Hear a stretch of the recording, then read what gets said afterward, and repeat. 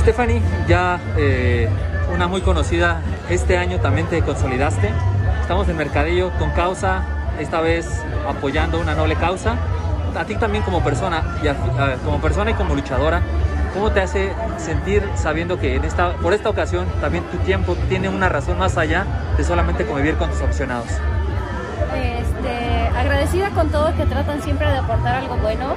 La verdad, yo también le hice un llamado a todos mis seguidores que si me podían ayudar con tapitas de plástico para donarlas yo al- a los niños con cáncer y me han aportado muchísimo, así que estoy muy orgullosa de todos porque todos han querido poner su granito de arena y ayudar.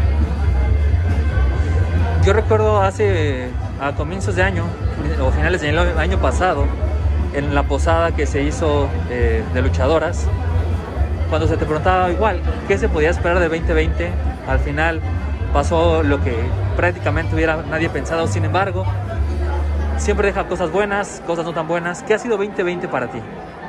Mira, yo creo que ha sido un año complicado para muchos, pero he tenido grandes logros, como ser la primera sudamericana en, en estar ya oficialmente en el Consejo Mundial, así que eso fue un gran logro. Quizás no entré en el mejor momento, pero la gente me ha recibido muy bien y, pues sigo ahí, o sea, hace un rato estaba en televisión, en tu DN, eh, y sigo en las funciones a puerta cerrada en, en el Consejo Mundial, así que como ha sido un año difícil, pero estoy agradecida con lo que he logrado este año.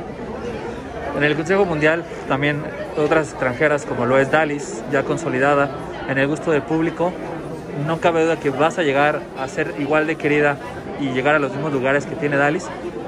Ahora tú que estás en el Consejo como luchadora extranjera y que es la primera sudamericana, ¿también sientes una mayor responsabilidad o simplemente estás feliz y disfrutando el momento? La verdad sí siento una gran presión porque eh, ser la primera sudamericana hay mucha gente que, quizás se siente representada o que tengo que, hacer un, pues, un buen trabajo porque mi idea es abrir una puerta para que muchos más o muchos más lleguen de, Sudamérica. Entonces, eh, estoy dando mi 100% de verdad. Sí, me siento un poquito de presión, pero creo que es bueno. Me gusta esa presión porque me exige hacer mejor y aprender más. Entonces, la idea es que lleguen muchísimos más.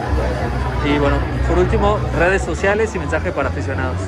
En Facebook, Stephanie Baker, en Instagram, stephanie.baker y en Twitter, steph-baker. Muchas gracias por todo. Gracias.